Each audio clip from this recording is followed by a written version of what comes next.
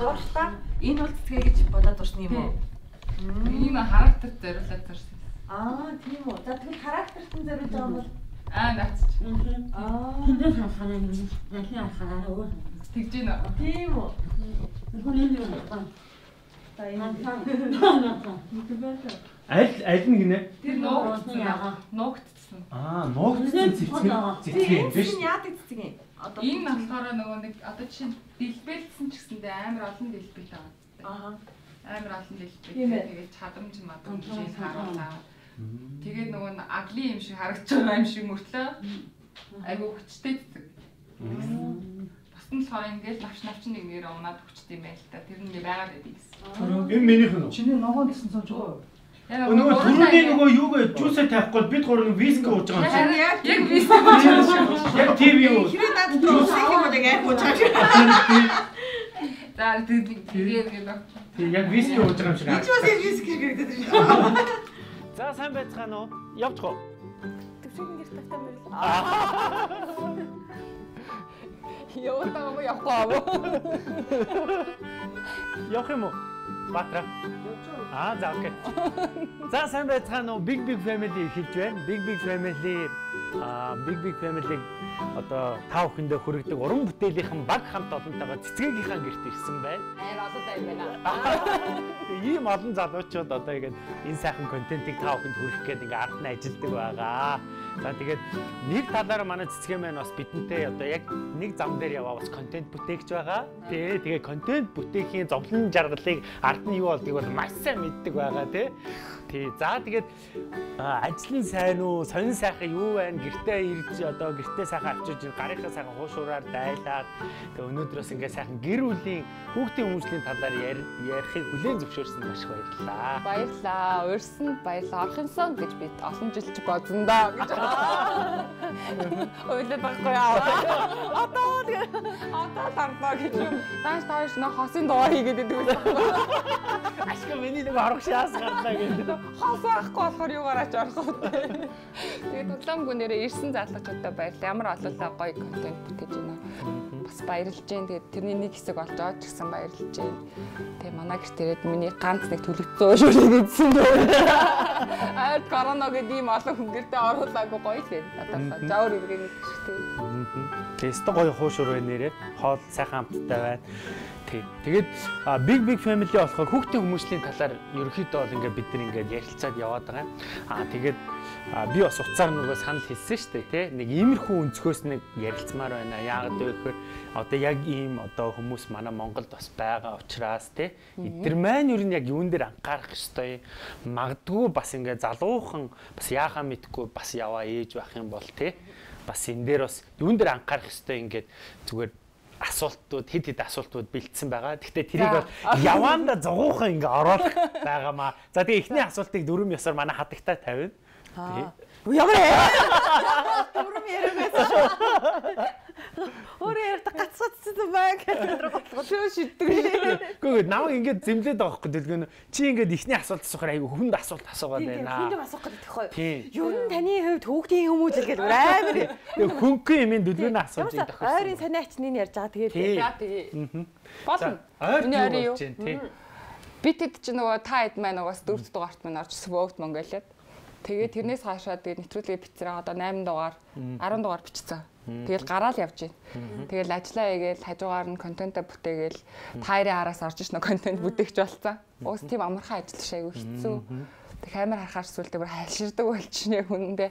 Яг энэ юм бүтэх гэж ямар их одоо хүний хүч хөдөлмөр цаг зав одоо сэтгэл шингэж бүтэж хүмүүст хүртийг айгүй хүмүүс ойлгосоо хэдий ютубер ч юм уу эсвэл өөр сошиал телевизээр ч юм уу хавдж байгаа ч гэсэндээ маш их үн цэнтэй тийм бүр продакшн ажил болтгоо. Тэрийг тэгээд үзэгчд маань ч гэсэн таад үзээд алгаад ашаараа заа юу. Манай хоёр тоо. Надад би өөрөө нөгөө нэг зүгээр үзэгч байсан хүн чи өөрөө яг ингээл яг контент бүтээгээд ирэхээр бас л өстой золон жаргалын хуваалцсан гэдэг чинь зүгээр кинонд бол очиод орчоод ингээл яваад өгдөг хүн шүү дээ.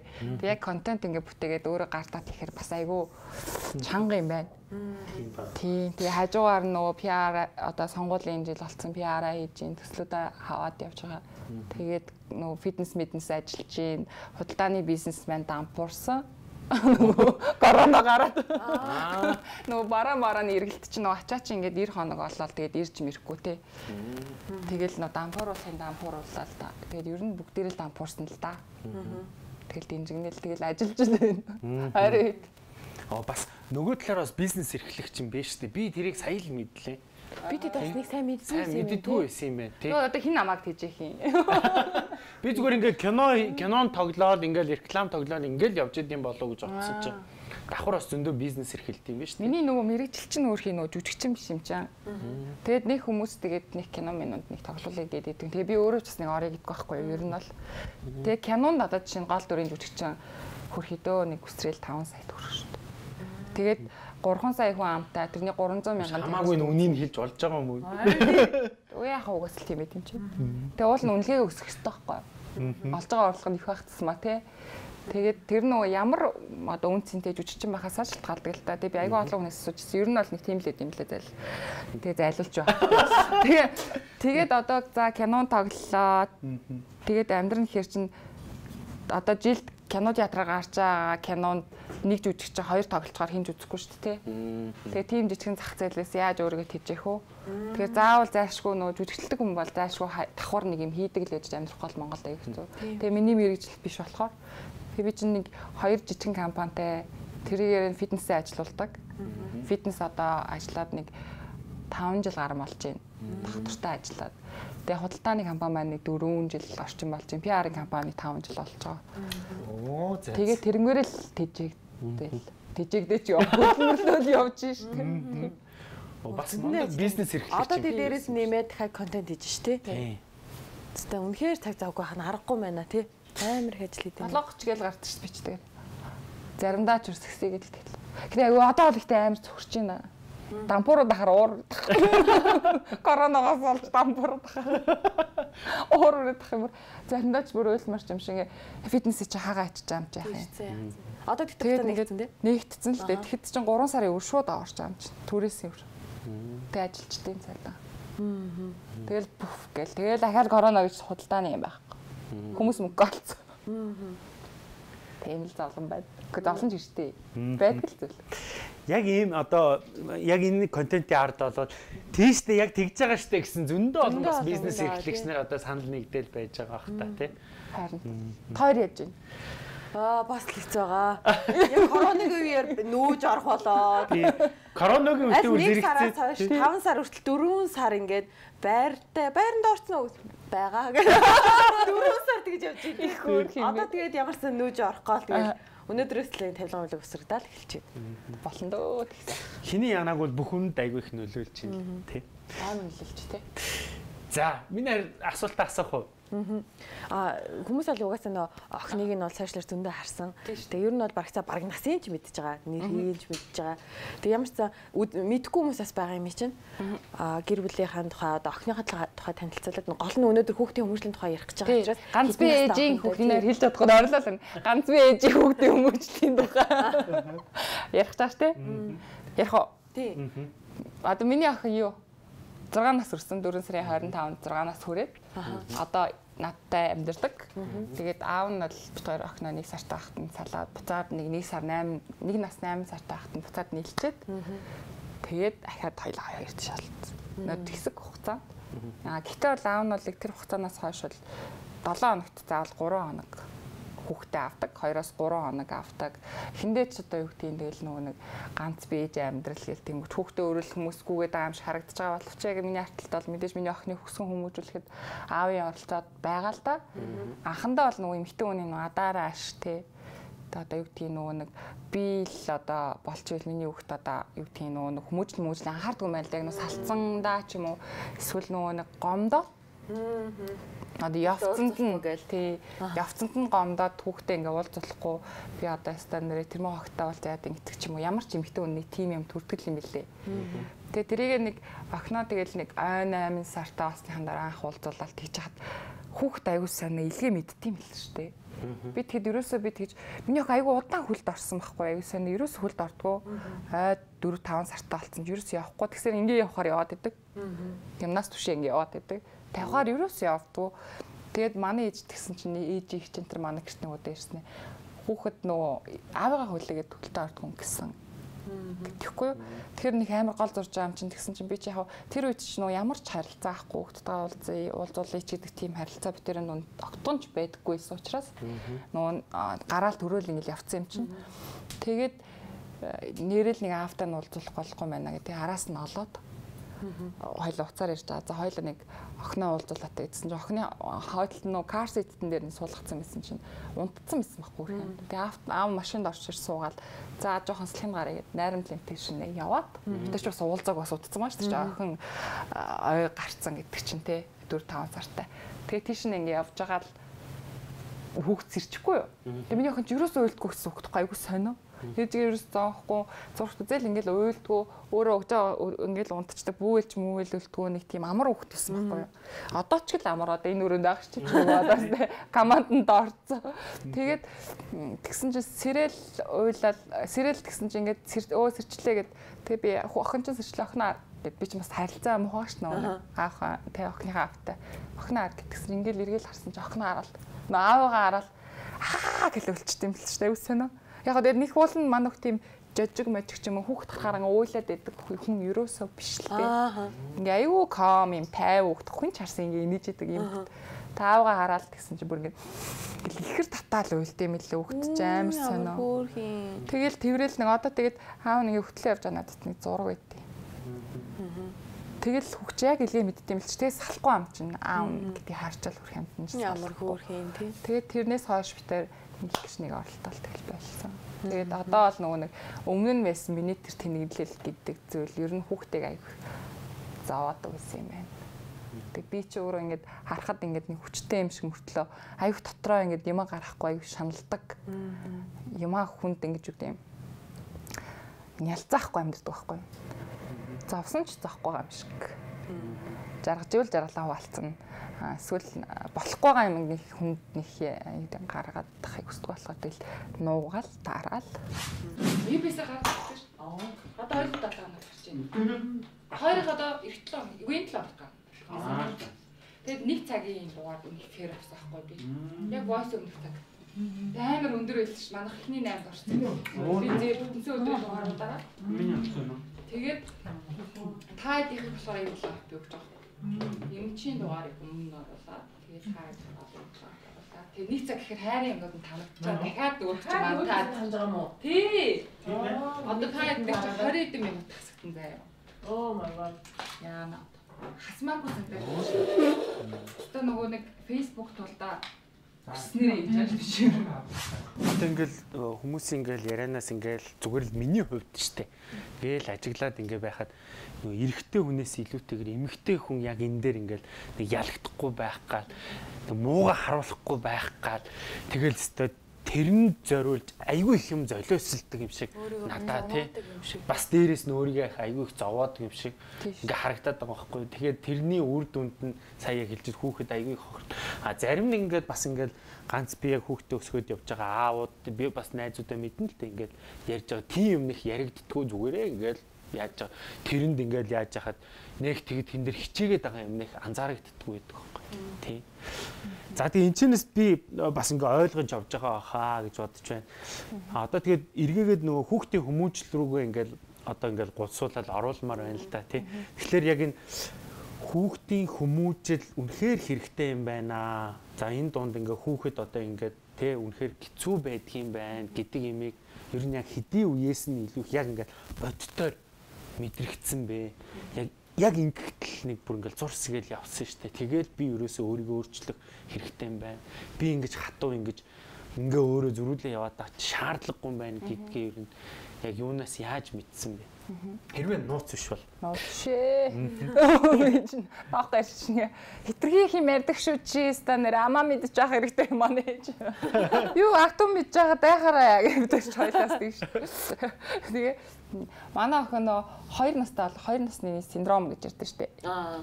Тэр үед нөгөө аавтайгаа уулздаг болсон. Тэгээд аав тэр буцаад яг салж идэг тийм үе байхгүй юу?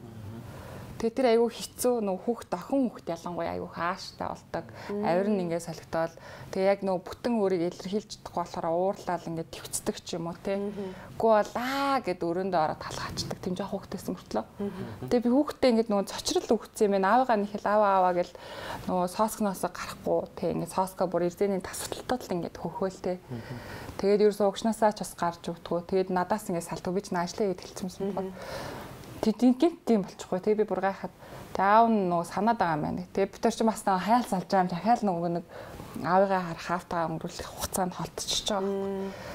Тэг яг тэр үед би нөө хүүхдтэйг өөр болоод стресстэй байгаа юм мэдээд би яах учраа болох хүүхдийн psychology уншаад тэгээд байж хад хүүхдийн psychology буюу хүүхдийн сэтгэл зүйд яаж салсан ээж аав нөлөөлөх вэ гэсэн. Ерөөсөл аав нь ээж нь 7 хоногт нэг хідэн цагийг заавал яг хүүхдтэйгээ ингээд байгаа юм шиг илэг бүтний юм партийн тий мэдрүүлж байх юм бол хүүхд стресс нараа дээр болно. Тэгээ хүүхдтэй чи яагаад даа гэж юм бол хоёр нас төгч хариулж чадахгүй шүү дээ. Тэгээ тийм болохоор нөө стрессийн тайлах тийм нэг баримлын шавар мавраар тоглол гэсэн байхгүй. Бид нар ч нөө юм уурлахаараа ингээл гурил мөрлөг амар илтдэж штэ. Нөө зоорч муурал амар юм юм бац маа шид мэтгээр стресс гардаг штэ. Нөө уурлахаараа цаасаа ингээ базаа шиддэг штэ. Тэгэхээр нэг болцсон юм шиг болчихдог штэ. Яг тэрнтэй адилхан хүүхдийн тийм стрессийг баримлын шавраар буюу play doogоор ингэж тайлуулах хэрэгтэй гэж бичсэн юм байна. Тэгэхээр би баримлын шавар хүүхдөөс манай хүүхд үнэхээр яг тэрэндээ төлрөөд тэгээд айгүй тайвширдаг болсон. Тэгээ аавтаа нэрээ за одоо ингээд угаасаа чивт хай бүтгүү. Гэтэ чи аавхаа үр хариуцлагыг охинд өгөх ёстой. Тэгээ манай нөгөө нэг охины аав ч гэсэн айгу ухамсартай залуу. Би угаасаа охиндоо уулзсан. Чи битээ ингэдэг гэдэг ч юм уу нэг иймэрхүү. Тэгээд хагсаан бүтэнсэн. Уулын залуу хүн, гой сайхан залуу ир хүн тавт өдөр чи махсаа өдөр шавууд явах тохиолдол байгаа шүү дээ. Тэгэхэд бол тэгхгүй чи угаасаа ажиллаа хийж чи өөрөө ч гэсэн ажиллаа хийдэг. Би тавтахаас нэгт өдөр хүртэл охиноо авчий чи эмхтэй хүн юм чинь бас надад боломж олгож байгаа. Тэгээд охинтойгоо ингээд яг тийм харилцаанд орсон ч хүүхдийн арын шин нь арай дээр дээд нөгөө стресс нь гайг болоод тэгээ гол нь нөгөө нэг тусдаа байгаа зүйлийг бол хүүхд өнөөдрийг хүртэл асууд юм лээ. Яагаад чи миний авто байхгүй гэдэг энэ зовнилыг нь яаж нөх хүмүүжлэлт нь бид яг заримдаа нөгөө ээжинд хэлэхгүй үе байж тээ. Одоо би загнаад ч юм уу те ойлгуулах гэж хичээгээд уггүй уйлж нэг үзүүлнэ шүү дээ жүжиг тавина шүү дээ аргаа орох юм бол би ядарч ийн өдөрч ингээл нөө бидний жоохон бахад ээж нь чиний л дүлээ амьдарч ингээ хөөдөөсөн шиг. Нэг заримдаа бас нэг тиймэрхүү юмэрхүү нэг тэр дарамт болохгүй ч гэсэндээ ээж нь ядарч штэ гэж мэгээд нөгөө нэг найз бахтаа унчаа хүүхдтэй ярьчаар тэрийг аягүй сайн ойлгоод Тэгээ одоо ингээ хөл хөл мөл ингээ байрч өгөө манай хүч нөө. Тэнийг амар дарамтлгүй л ямар хүчээр хэл хийдгүү. Тэсэр нэ яаж хүнд ажилтдаг гэдгийг нөө ойлгуулчаар миний ох аягуулсаа ойлгохдаг болсон. Вау. Ямар хөрхийн стог гоё юм за бааштай. Энэ ширээн дээр төр тавьчих уу? За чи энэ дээр тавьчих. Ямар гоё юм бэ? Вау. За thank you. Thank you гэрээ. Ботцсон ба штэ бүгд юм. Баярлалаа. Тэр камернууд энэ ийм их камернууд. Чам. Чи хаа их ч нэ зүрх өгдөг хүмүүс үзэж байгаа. Зүрх өгдөг усуд үзэж байгаа. Бүгд нь сайн уу гэдэг чи. Аа. Хүүхэд яг ингэ нөө эцэг хин хал байхаар хүнээс айдаг болчт юм лээ. Гадны хүнээс үү? Гэхдээ зүгээр танихгүй ч юм уу нэг ийм нөгөө нэг ингээд хүний хүний хүн харахаараа хүний араар ингээд нуугдаад байдаг шүү дээ нэг өргнөр. Аа. Тэгээ манай хөлт зааж хоёроосоо нэг за дөрөв хагас хүртлээ хүн ингээд нүдрөө харна шүү дээ. Тэгэхээр хардгуу тий нөгөө нэг би бүр гайхаад яагаад ингэж над руу хараад намайг болиул те над руу ингэж хүн харахаа та найз чинь хараад намайг болиул гэд амар хичим хий бүргэсэн баг. Аа манагт тийм бисэн шүү дээ. Тэгээ одоо ингэж нөгөө нэг амар юм юу гэх тийм нөгөө нэг одоо ганцаараа өсөж байгаа гэж нэг юм шүү дээ. Ер нь бол нөгөө аавтай хүн чинь айгу бардам хамтаа байдаг хүн чинь айгу бардам өстөө тий одоо ээжтэй ганцаараа өсөж байгаа хүн чинь бас өөр байгаа. Хөөрхийн чинь нөө ихтгэлгүй болчт юм шиг үлээ. Хамтаа байгаа байхгүй болохоор тэг бидний яаж янзлсан бэ гэхээр нь тэгсэн баггүй чи ингээд нөгөө хүн болгоноос айх хэрэг байхгүй чанд ээж чинь байна тэгээд өвөө чинь байна гэдэг чим өвөө байхгүй л тэгтээ нөгөө хийсүр юмыг насварсан хүнийг ч гэсэн би болгож болдог байхгүй юу? Нөгөө сэтгэл зүгээр нь одоо манай хүн ч өвөө мөгхийн зургийг хараад оо манай өвөг амар хурдан танина. Аа. Тэгээд ингээд өвөө чи ийм хүн байсан тийм хүн байсан те. Аав чи яг ийм хүн. Таар ийм байсан гэд ингээд ингүүд чи нөгөө сэтгэл зөрчрөнд хийгээд өгөхөөр нөгөө боддоор чиний хажууд байхгүй ч гэсэн чи хайрлагдаж болдог гэдэг энэ мэдрүүлэх гээд тэгээ миний аа байхгүй үстэй чиний аав чинь байгаа тэнд гэртээ амьдарч байгаа. Миний аа байхгүй тэнгэр дээр байгаа. Чи хүрч чадахгүй? гэдэг. Гэд тэр хүн өөрийг нөгөө нэрээ би айгүй би азтай юм байна нэрээ би бүтэн юм байна гэдэг сэтгхүү хүүхдэд цод юм байна л да. Тэгэж нөгөө тэр нэг одоо хашир те нөгөө эрэгтэй хүнээс ч юм уу айдаг тэр байдлаас нь гаргачихсан шүү дээ нэр. Ном дээр ч тэгээд хэвчээ. Аа. Би өөр гайхчлээсэн тэгээд нэрэл угаасаа миний аа байхгүй юм чинь. Тэгээд тэр ном дээр болохоо өвөө гэвчихсэн юм л да. Миний өвөө гэдгээр ч юм уу бичигдсэн. Та байхгүй юм чанд өвөө байхгүй. Бас хоёр талд нь хоёул нь өвөө байхгүй байхгүй юу. Тэгээд гэтээ чамд аа байгаа гэд. Миний аа байхгүй. Тэгэхээр нэрэл байхгүй мэ. Харж байгаагүй. Тийм байна. Наа амир өрөвдсөн ш манайх одоо надаас ил. Өөрөөсөө ил. Одоо бол тэгээ автаа бол байн уулзж байгаа тийм. Тийм, байн уулзсан. Аав нь муур аваад өгцөө. Тийм, мууртайгаа аав нь гэртээ амьддаг байхгүй юу? Хүүхдээ муур аваад өгсөн тэр нь бүрстлээ болж байна. Тэгээ би нөгөөтөд бас найгаад амир зүгтээ авчих гэхээр айгаад болохгүй ам чинь нөгөөд чи яччихдаггүй. Тэгээ аав нь нөгөө явуулсан. Тэгээ аав аав нь мууртайгаа амт амьдэрдیں۔ Тэгэл охин аавал. Тэгээ аав ч гэсэн ер нь бол одоо чинь би ингээд хасаа бүтэнсэн ганцаараа байлаа гэж бодох миний охинтой аав нь хахад аав нь бас сингл дайд юм шиг харагдаж байгаа хгүй ер нь бол. Гадамдаар хүүхдэд гудамжаар хүнээд хүүхдэд агуулсан явж ивэл. Тийм тэгэхээр одоо аль аль талтаа сингл parent гэсэн Аа багаас ингээд хүүхдтэйгээ юм нээлттэй ярилцаад ахаар харин хүүхд ингээд тэр тусмаа илүү нөгөө нэг ойлгоод бид нар болохоор нөгөө хүүхдийг хүүхд хэмжээ ойлгохгүй гээд хүүхдээ огт тайлбарж юу ч хэлэхгүй. Тэгэл ээж аав нар хоорондоо асуудлаа зохицуулаад яваад идэв шүү. Тэгэхээр хүүхд нэг тийм юунд оролцохгүй нэг асуудлын гадуурх юм шиг өөртөө нь хамааралгүй надаас болчихж байгаа. Эсвэл надаас бүх юм болчлаа гэж нэг нэг яах гад идэг. Тийм. Тэнгүүт нөгөө нэг аль нэг тал нь ч юм уу тал тал нь. Нэг тал нь ингээд маш сайн тайлбарлаад ийм учиртай юм үг ойлгуулад тахлаа. Хүүхдээ харьцангуй. Юу гайг болчт юм шүү. Ингээд нээлттэй. Харь тий. Нэг тэр эмзэглэхээргүй. Ганцлаар тэгж байна. Хэвийн үнцэглэл юм шиг тий. Агаар би үлчлөө гэх. Энэ нөгөө манай аав ч амар гоё хүн байсан бохгүй. Гэхдээ ээж байгаа л да. Манай аав нэг тийм оо ингээд ингээд яриад ингээд сууж идэг нөх хүүхдтэй хүүхд ихгүйгээр аа хаста нэрэ тэр тэгсэн чинь инглээ орцны жижүүрийн инглээ мэнглээ гэл нэг тийм амар аж ахуйч тэгээд орцны хүүхдтэй хүртэл юм ярьсан сууждаг юм аюу сонинд юм нээлттэй тэгээд нэг тийм аюу сайхан сэтгэлтэй гэсэн юм амар яриа хөөрөвтэй хинтээ ч хамаагүй оо ятуу баян гэхгүй ингээд хайцдаг тэгээд ичдэр ч гэсэн хүмүүжүүлэхтэй нэг тийм нээлттэй нэг тэгж хүмүүжүүлсэн л дээ болно. Тэгээд бас амьдралын ирэхээр л хүмүүс өөрчлөгддөг юм билий. Одоо л охинтойгоо харахад л нөгөө битүү ингээд ингээд задлах хэрэгтэй байгаа шүү дээ. Нөгөө нэг яа яа юу гэсэд байгаа мэдхгүй заримдаа учирг уйлна энэ хүчээ. Аюу хэцүү шүү дээ.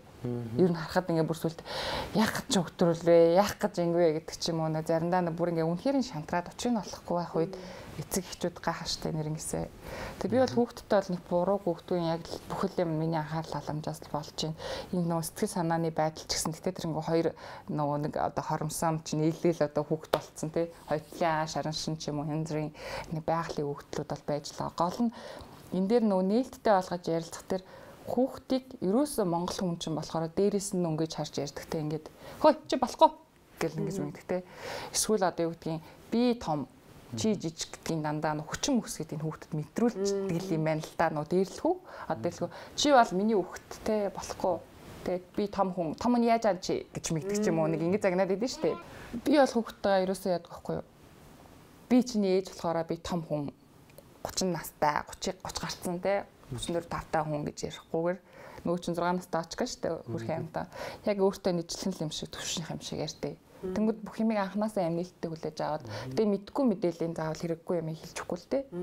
Тэгтээ одоо бүх л юм ихтэй энэ ч өвдөлтөө одоо нөгөө хамраа мачсан тэр юм ингэх юм бол хамарч унна гэж хэлсэн. Тэгээ одоо тэрнээс бол амар миний хэлсэн юмд амар итгэлдэг болчихсон. Одоо. Ингээд нөгөө өөртөө ингээд яг өөрхийн төвшөнд яриад би чамаас том ч гэсэндээ чам ч гэсэн юм ability буюу чадвар байгаа гэдгийг итгүүлчихээр надад амар итгэдэг болсон. Одоо хамар гингүүт хамар нь Гэт амар уйлж муулаад тэрэндээ үнэхээр итгэж мэтгэл сая надад энэ дээр нэг тикэн дээр нэг 50 50 төгрөг авчирч өгсөн байхгүй. Би өөрийгөө баян гэж төлсөн байхгүй юу? Аа. Заримдаа ядуу болохыг мэднэ. Тэгээ нөгөө наваг заримдаа нөө хүнс хүнс ээж мөнгө авахгүй авч чихэр мэхэр авч өгөхгүй гэд би нөө хэлээ ш та. Хуурах ажиллагаа явуулдаг ш тэ. Өдөөлөхгүй тул чипс нэх юм бол мөнгө авахгүй. Гэ мөнгө амар хөдөлмөрлөж олдог гэдэг ч юм уу.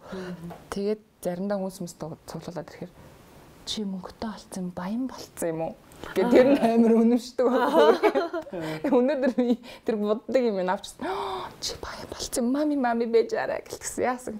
Миний өрөөнд мөнгө байлээ тэр ургадаг. Одоо бүр тэрэндээ итгэцэн. Тэг надад амар итгэдэг байхгүй. Одоо нэг юм хэлчихээр ингээд окей окей. Амар итгэдэг ш түрхэнд. Том болчоод ойрлох байдэ үзээд. Болчоод үзээд. Одоо ч одохгүй л Нанд сэдэгс амар ойлгодог болох та тий. Тэгээ одоо би хүүхдийг бүгэндээ оруулах сургах аргыг хүмүүс одоо сураасаа гэж би бодохгүй. Өгөндөө арах гэдэг нь загнах биш байхгүй. Өгөндөө арах гэдэг нь зөвхөн сонсох чадвар. Одоо би ингээд машиндаа ч юм уу эсвэл юм тэнд явж байхад ч юм уу одоо юу гэдгийг бөөнөрөө байхад манай хот нэг үг гэхэд би заавал аа гэж хариу үйлдэл үзүүлдэг хүүхэд миний хүүхэд нэг л үг хэлвэл би яасан гинэ минь хөө гэж заавал тэрийг сонсдог. Тэнгүүд нөгөө хүндэлж байгаа мэн өөрийг нь үнэхээр нөгөө хүндэлж байгаа гэдгийг нөгөө илэрхийлээ. Тэгээ одоо надад итгэлэн төрсөн байна шүү дээ. Тэгэхээр заавал хүүхдийг хідэн насных ч байсан хамаагүй нэг үг аваа ээжээ гэтэнд яасан аа сонсдог үйлдэл хийцэн байхад хүүхд нам болдог байхгүй одоо ингээд уучлалт гуйх тэгээд ухаантай байх одоо уйлсан ч гэсэн аашлаад бурууга хүлээх тий тэр бүх юм итгэлцлийг нь би болгож өгдөг. Сонсох багтсан мөгч улам ойрлоод улам амар болоо. амар болоо болоо тий. Наач мастаа нэг сонгодог арга байна тий. Тийм байна. Тэгэхээр дараа нь шууд үнээл шүү дээ. Ижи би муу авцсан гэл. Оо муу авсан юм миний хөө. Гэсэн шүү. Mom, we know those big bags and I'm trying to get to grandma's toilet. Чээж хороо. No, I left my toy, my painting Түрүүн ингээ хэлсэн шүү дээ. Яг ингээл битэрийг нөгөө хоёр дахь ингээл нийлэх гээл те. Тэгэл буцаал ингэж яхад хүүхдийн сэтгэл зүйдээр би аягүй ихтэй ингээл хүнтэй уулзаал ингэж анхаарч ирсэн гэ те. Тухайн үед миний бодлоор яг чи өөрийнхөө сэтгэл зүй ч юм уу тэр тал дээр эсвэл бол тойрын одоо та нөхрийн тал ч юм уу энэ тал дээр ч юм уу сэтгэл зүйн зөвлөгөө ч юм уу тиймэрхүү юмн дээр ер нь жоохон анхаарал хандуулж ирсэн үү? Ер нь бол бүгд л хүүхд дээр л анхаарлаа. Өөрсдийнхөө сэтгэл зүйг засдах ч юм уу? Сэтгэл зүйчтэй уулзах ч юм уу? Энэ тал дээр бодож ирсэн үү? Би болохоор нөгөө яг төрөөл нөгөө амар ядж хахад нөгөө яг л хүн чинь ингээд нөгөө одоо монголоор мухаар хэлвэл нөгөө хаydах гэх юм уу да тий. Тэгээд тэр мэдрэмж авсан амар л юм лээ. Нуусаа ингээд аяг хөмөрж жоол юм шиг санагддаг. Яагаад гэвэл нөгөө нэг за яг болчондоо бүтчэндээ гэж хоёр талаас нийлдэг. Үнэхээр хайртай гэвэл хайртай. Тэгээ 6 жил найзалж байгаа хүүхдийн төрүүлсэн зүгээр нэг одоо ихэлдэж гүйж байгаа жирэмсэн болчоогүй байхгүй. Бас ингээд за болох юм байна, бүтэх юм байна гэд хүсэж байгаад бүр хүүхдтэй бас. Тэгээд тэг яаж хатаа амар нөгөө бүдүүн таргаан тий. Тэгээд аим бүдүүн тэгээ дотоод төрсөн хөвгттэй тэгэл өөрөө ч гэсэн чинь бүхэнгээ алдаа босч ирж ирсэн болохоор над бас сэтгэл зүйн хувьд бол үнэхээр нураал босч ирсэн л дээ яасан ч яахгүй дээ аа маа өнгөрцөн ч үе таарсан. Бүхэл юм бол амар донсголж ирсэн. Тэгээд би одоо бурхнаас гуйдаж бурхан минь би үзэстэй зовлонгоо үзэстэй одоо над битээ тэрнээс амар юм үзүүлж яагаад бол хүн үхэх юмсан гэж хүртэл боддог юм. Л олон удаа тэгж оролддог ч юм лээ тэгээд тэр ч одоо одоо ямар ч нөө сэтгэл зүйн зөвлөгөө гэхээсээ илүү яг тэрийг яаж давн туулах уу тий тэгээд эргээд нөө хүн чинь бүр болохгүй би хүүхдээ өгч юмсан гэж боддог юм л шүү дээ. Одоо ингэ хүнд гай олж байгаа хооронд зүгээр хүүхдэд ирээд тусарчиж гэж бодож байсан үе надад байж лээсэн тэр үед бол. Тэгээд бас ер нь нэг тэгж одоо гэдгийг ээж мэж бол тэгэл хөрхий харахад бол би чинь гайгүй юм шиг мөртлөө угаасаа хэцүү байгааг нь ойлгочлаа юм чинь тэгэл хөрхий аргаа барахаараа хүн чинь гандан зэл ортгол юм билээ. Ер нь яаж л яаж л үзэн сэтгэл санааг нь өргөчихгөл Тэгэд надад бол ингээд бүх хэмиг мартаад тэр зовлонгоос үүдийн салалт гэдэг зовлон хүүхдээ яаж өсгөх үү те гэдэг энэ зүйлийг бол ерөөсөө тэр фитнес гэдэг юм л яг ингээд нөгөө төвлөрлийг авчирч өгсөн. Тэгээ би өөрийгөө амар хайцсан л байсан юм л. Яг тэр үед хүн ер нь яг өөрийгөө хайчдаг юм л.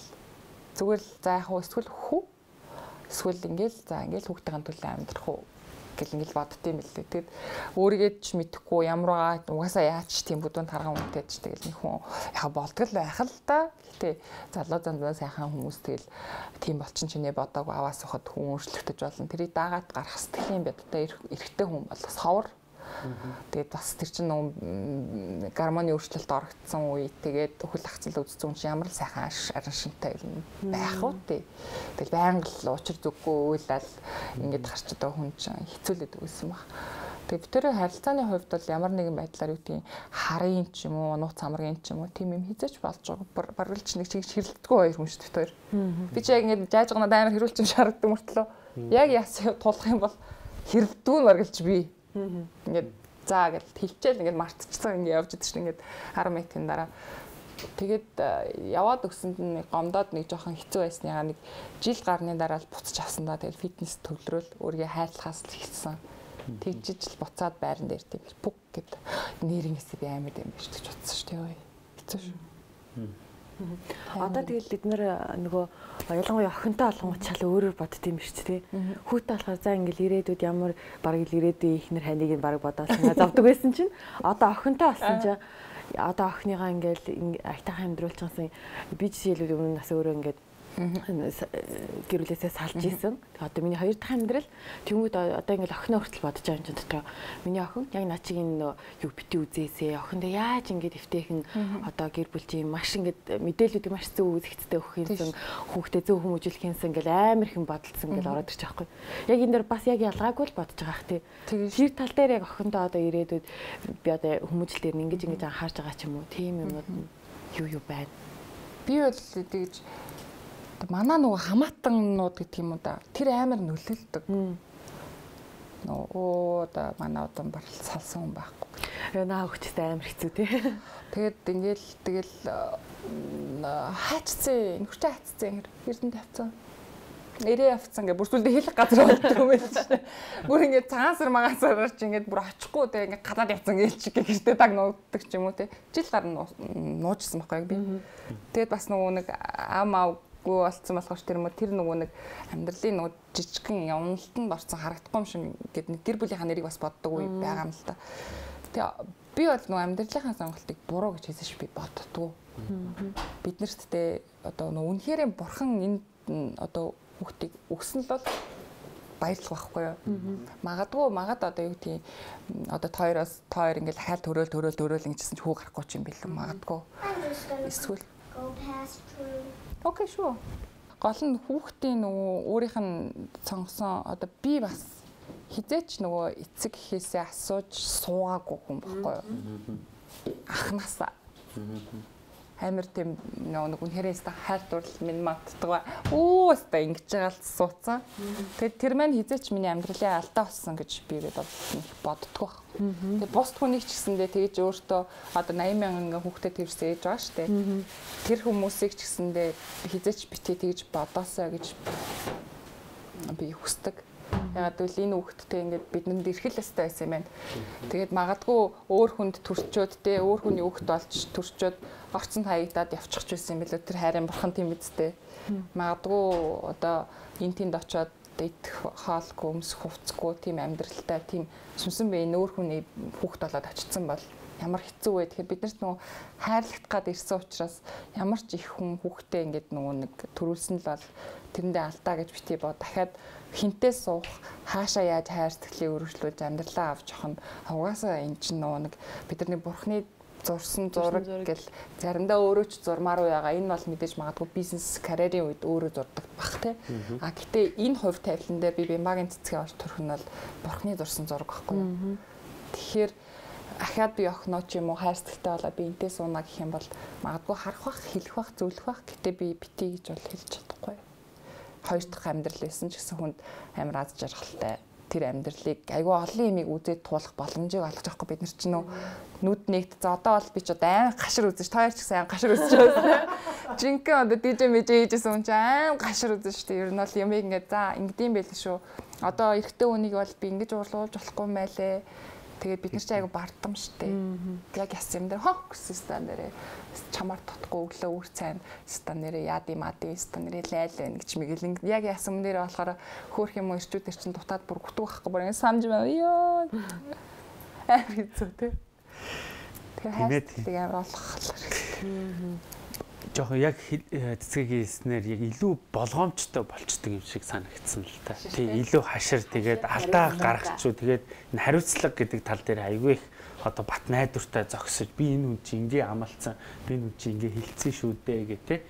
Тий, яг тийм болчдөг юм шиг санагдсан. Тэгэхээр магадгүй те одоо түрүүн хэллээ штэ нөгөө нэг хүүхдэд тэрсэн 80 мянган ээжүүд дахиад ингээд одоо дахиад ингээ сайхан амьдралынхаа хоёр дахь ханаа ингээ яаж байгаа бол тэр талууд дээр маш их бодолтой байгаараа гэдэг юм тий.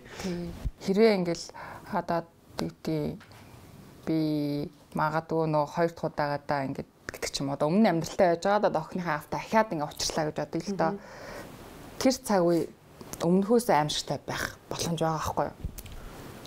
Ер нь ингээ харахаар тэгэхээр тэн дээр алдчих орн өмнө нь алдаад дараагийн амьдралыг ахаад илүү аюу хөнгөн алдаад те илүү сайхан амьдрах ч юм уу илүү ингээд бүр тэрнээс амар амьдрал юу гэж тохиолдоо байлаа? Янз бүрийн байгаа шүү дээ тэрнээс амар юмнаас илүү хөнгөлж өгсөн болов уу гэж боддоо шүү дээ. Одоо юу гэдгийг заавал бид нар нөгөө нэг олуулаа биш ч гэсэндээ тий дахиад бид нар чинь бие биенээ хайрлах тэг хүндлэх тий одоо ингээл таяр ч гэсэн ингээл айгу гоё таяр харилцал амар гоё идэг баха Тийм найдвар биднэрт байгаа л та. Үгүй байгаа штэ. Нэг хүнтэй суучхал байлгүй гэдэг бодлоо тий. 20 морьма хийх инсан та хоёр. Яг би мөр. Гэтэ одоо хөшөрсөн юм чи бодлоо ах та тий. Үгүй тэгж бодож болохгүй юм байл ш. Тий. Заавал үзэх ёстой одоо хүн болж төрснөх би бол хүмүүст айгүй их тэг зөвлөлтэй. Хормоо хийх үү яах уу? Гурван хүүхэдтэй болоод хормоо 40 гарч байгаа тийч тий. Гоё уу? Хоёрын араа гоёлж юм байна ёо. Тууийг авсан шүү дээ. Тэгчихсэн нэр жинхэнэ харж байлаа шүү дээ. За нөгөө чи готлоо авчиж дөвлөө авчиж.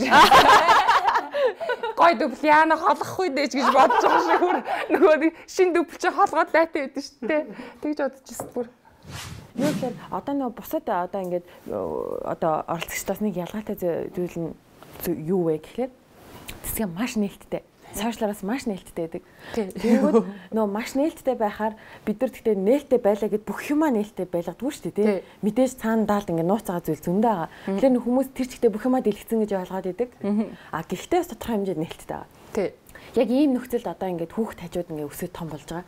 Одоо яг энэ бол битэрийн амьдралаас гэсэн бас тохиолдож байгаа. Тийм шүү дээ. Тэгвэл хүүхд ингээд ухаан ороод эхлэнгүүт ингээд ингээд ерөнхийдөө эйжент сошиал дээр ингээд одоо контент бүтээгээл сошиал дээр зөндөө олон хүмүүс таниад ингэнгүүт хүүхдэд нь одоо хүүхдэд юуг анхаарч байгаа вэ? Одоо ингэдэм байна. Бид нар нөгөө би тэгээд яг Монгол олонний танил байна гэдэг зүйл ч одоо ялангуяа сошиал орчинд олонний танил байж сураагүй хүмүүс байхгүй юу? Тэнгүүд жишээ нь хүүхдийнхээ эрхэнд өөрөө онлайн орчныг далимдуулаад тэ ингээд нөгөө нэг далимдуулаад жахад ингээд хүчрхийлээд байдаг. Тэ одоо жишээ нэг тийм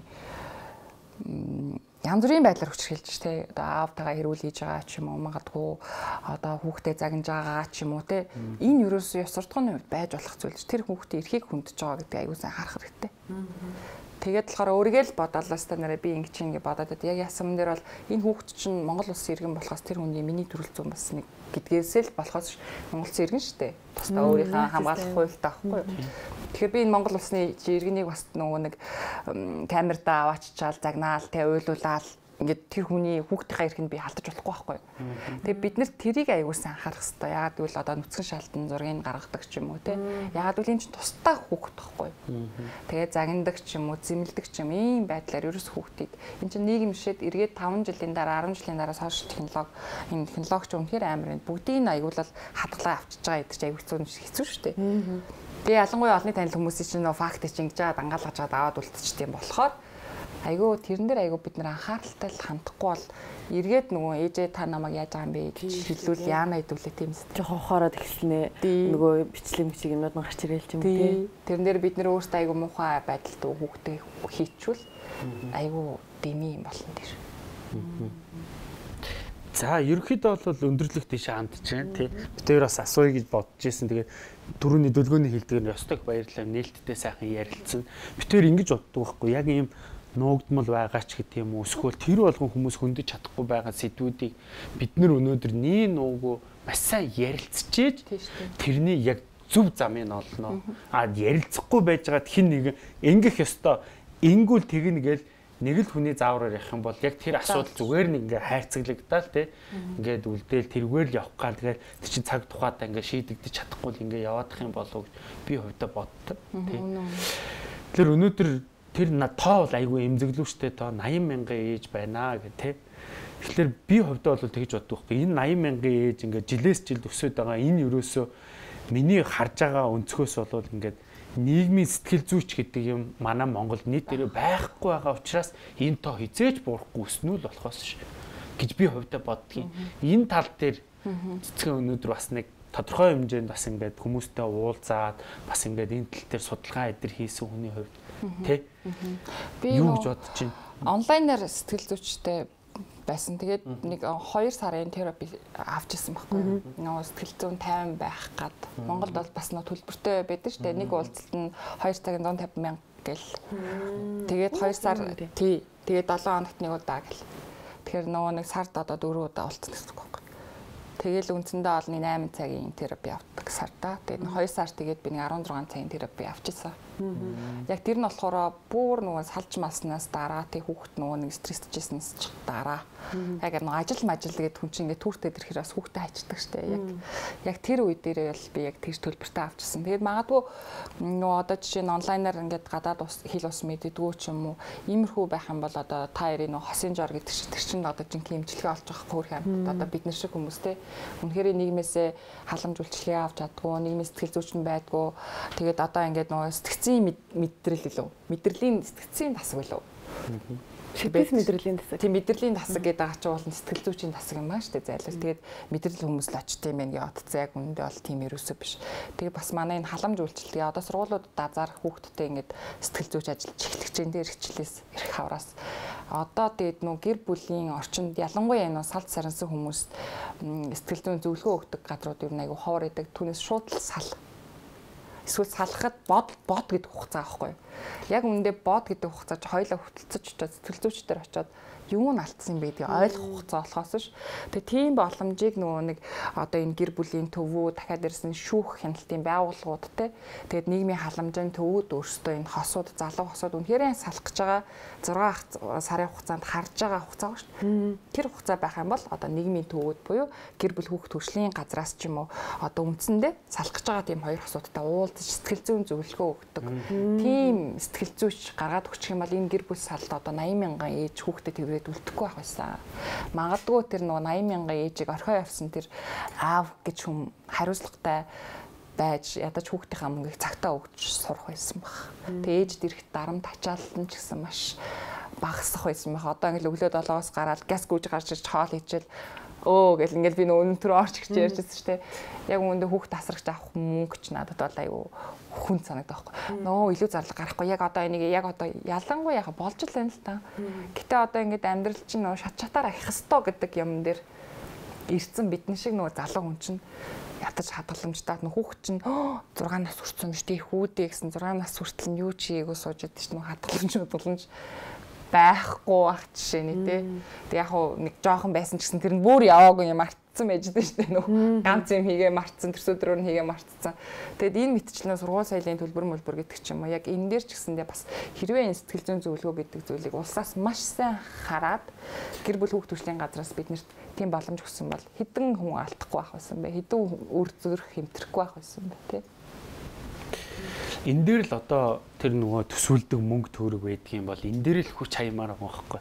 Харин тийм шүү дээ. Энэ нийгмийн сэтгэл зүйчдийг одоо хүмүүс хуваараа биш хуваараа байх юм бол чи юм үнэтэй байх нь тодорхой. А улас тэрийг мэдлэлтэй аваад санхүүжүүлдэг энэ талаас ч тэ тэр сэтгэл зүйн зөвлөгөө өгж байгаа хүнээ дэмждэг энэ талаас ч ард иргэдэд боддог байх юм бол ийм систем нь тогтчгол юм бол энэ ингээд бүр эрс багсаад ирэх юм болоо. Тийм шүү дээ. Нөгөө таад нөгөө Joker үзсэн үү энэ жилийн Joker.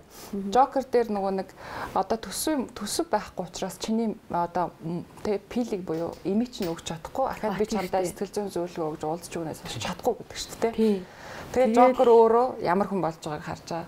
Тэгээ энэ Монголд үйлдэгдэж байгаа энэ бүх одоо сэтгцийн юмтай хүмүүсийг контролдож чадахгүй байна нэгдүгээр шүү дээ. Ерөөсө контрол авахгүй байхгүй. Хорон орны ажилтан гэж бид нар суугаа ажил. Тэрийг контролд чаддаг. Яг тэр жокер дээр гардаг шиг яаж төсөв тасарсан энэ сэтгцэн юмтай хүмүүсээ ахаад гэр бүлийн асуудалтай хүмүүсээ тэр чинь нөгөө сэтгэлийн гүн дарамтанд орно гэдэг чинь өөрөө сэтгэл зүйчтэй л ажиллах ажил. Сэтгэлийн гүн шоконд орно гэдэг чинь өөрөө ахаад сэтгэл зүйчтэй л ажиллах ажил. Тэгээ тийм юм бидэрт байхгүй шүү дээ. Тэгээ бөөн жокерууд гудамжаардаг. За за ингээд дуусах уу те. За тэгээ өнөөдрийн дугаараас болвол а маш их зүйлийг ойлгож авсан байхаа. Тэгээд энэ дээр бас тодорхой шатны улсууд нь одоо битэрч бас ингээд ер нь яваа явандаа бас энүүгээр далимдуулаад хэлчихэ тий төрийн байгууллагуудтай одоо хамтарч ажиллах гэж байгаа тий тэгэхээр бит хоёр бас энэ тал руугаа бас нөгөө төрийн байгууллагуудыг тий бит хоёр энэ тал дээр л ингэж тав хүнтэй хамтарч ажилламаар байна. А тэд нар бид нар энэ дээр тоойртой хамтарч ажиллах биш. Бид хоёр ингэж ажилламаар байна гэдэг юм а төлхөө яг саяны сэдв дээр ингээд хичээгээд өгөх гээд байгаа юм гэр бүл хөвгт төвчлийн газар л очи тий. Тэр л чатна. Тэгэхээр энэ дээр л одоо бүгдээрээ зөвхөн одоо бит хоёр ажиллах биш те тал талаасаа бүгд дэмжиж а тэгээ бүгдээрээ оролцоотой бай. Тэгэх юм бол энэ бүх тоог ингээ бүгдийг Юу сайн юм би тоо. Ийм байгаа. Улаан заглам аймаа ш. Монгол дээрээ үе өстой гой баяртай мэдээ байна. Баярлаа. Тэгээ таад гой ингээд гой энэ энэ зүйлийг ямар хүчтэй гэдгийг энэ улс төрчид энэ төрийн байгууллагууд ойлгоод те авчвал ямар олон залуучууд үлгэр дуурайл болж ийн ямар олон залуучууд мэдих сурахын зааж өгч ийн те тэрийг одоо ойлгол бүр болох бол би бичнэ. Энийг ойлгож байгаа л да. Ойлгож байна уу? Нэг юм нэг юм ярэ. Тэрний юу гэхээр одоо нөгөө мэдээж ээж нь үсэх юм чинь. Тий. Тийм тэгээ энэ контентын төгсгөлд бас ээжээс сурсан, ааваас сурсан өчнөө сайхан зүйлсүүд цэцгээд бас байгаа. Цэцгийн тэр нөө цэцэг шиг. Энэ олон дэлбэ шиг. Тэгэд бол маш их нэг цаанаасаа нэг тийм амар хүчтэй байгаа нь мэдрэгдээд идэх байхгүй ингээл. Ерөнхийдөө ингээл нэг цаанаасаа айгүй хүчтэй сэтгэлийн тэнхээ маш сайтай. Тэгэл ингээл одоо магтах юм бол зөндөө юмуд гарч ирэх л ах та ингээл үзэсгэлэнтэй сайхан одоо ингээл зөндөө юм гарч ирнэ тий. Тэгэхээр энэ бүхнээс ээж аавдаа одоо талархаж байгаа ээж аваасаа сурсан сайхан зүйлсүүдээ яриад нэвтрүүлгээ дуусах бас гоё шүү дээ. За тэгээ гоё байна. Нөгөө би тийм амар хүчтэй биш харагдаж байгаа ш. Царай мараа л тэгж харагдуулдаг байна. Гэтэ яг миний нэг чанар өгдөө. Тэрийг ээжээсээ би сурсан гэж боддог. Манай ээж амар хөтлөмөрч. Амар хөтлөмөрч одоо бүтсэн өдөр амруул их юм. Тэгээ одоо би ч уулна манай гэрт ирсэн өдөр бол манай ээж бол 6:50 гээл гар авчдаг. Тэ ажил руугаа алах нь би бол яа гэж машин дагараад нэг 70 30 гэлбэр алтын шиг гарч байгаа шүү дээ. Тэгэд манай ээжүүд үнэхээр шогшоол тийм амар үнэхээр зүгээр сууж чаддгүй тийм хөдөлмөрч юм хитэн. Тэгээ насаараа л ажиллаж байна. Тэгэд ээжээсээ тэр зүйлийг магадгүй би сурсан баг. Тэгээд ээжийнхаа тийм нэмжин сэтгэлийг авсан баг. Би айгүй өрөвчихгүй. Тэгэд заримдаа ёо яг байгаа юм ангил цацчаал дараа нь би ч тэгсэн шүү дээ. Одоо надад байхгүй гэхээр чад ямар сайн баян юм шиг амьдэрт юм бэ Тэгээд тэгсэн та өөрөө тийм өстэй гэхээр нэрээ тийм те гэдэг үздэг байхгүй. Тэгэд ээжийнхэн тэр нэг хитрхи өрөвчийг авах эсгүй ч байсан юм шиг надад заримдаа санагдав. Тэгэхээр хүний өрөвцөөр байгаад хүнийг алчч болдог болохоор хит хүнийг өрөвдөд байж ерөөсө болтгүй юм лээ. Өөрөөр нь л ингээл зүмтэн аач. Аа болохоор нэг амар зарчимч тийм шудраг байхгүй юу? Төс тас гэл ингээл хилчдэг. Тэгээд тэр нь тэр хүнд нь хөрнөө хөрөхгүй байна хамаагүй өөрийнхөө байр суурийг нэг нуугүй хилчдэг. Тэгээ магадгүй нөгөө энэ сошиал орчинд бол миний амьдралын өсрөөл нэг 2% нь л гарч дээ. 2хан хувь байхгүй юу? 2% ч бараг хөрөхгүй дээ. Аа. Тэгээ яг яг ямар хүн би ч амар ганцаар мал хүн шүү дээ ер нь бол. Дандаа ганцаараа байхыг хүсдэг. Одоо гэтээ дотгошоогоо. Тэгээд яг ингэ суучдаг үгүй бол хөвтөөд ч юм уу бол яг юм уншаад ч юм яг ингээд суухаараа би хинтээ ч юм ярьдаг байхгүй юу. Тэгээд айгүй төвхтөө тал руугаа хүн Ямаа дуусахгүй бол уур хүрээд байдаг. Тэгээд заавал хэлсэн ямаа заавал ингээд ингээд ёо цаа цаа цаа одоо хоол идэ гэх нэг юм хүн бид шүү дээ. Нэг тийм л тал руугаа. Тэрийг одоо тэгээд аав ээжээсээ л авсан бах.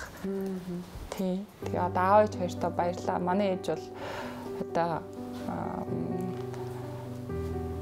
сэтгэлийн төвчээр гэдэг зүйлээд шүү дээ тэрийг үнэхээр одоо би харсан ээжээсээ одоо олж харж байна. Ямар амар төвчээртэй. Тэд ч н одоо ингээд өдөрт нэг хэдхэн 10 хүрэхгүй цаг ажиллажал ядарч өглөө гэдэг чад манай ээж бол хязгаарч би ядарч байна гэж хэлж байгаа. Насаа. Ээж амар яг тэгтэгтэй.